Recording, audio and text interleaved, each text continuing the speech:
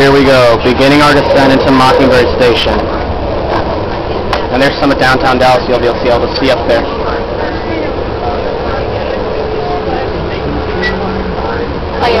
Down we go.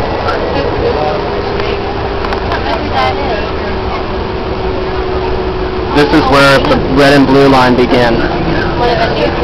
There's the blue line over there, you'll see. And there's the tunnel up ahead.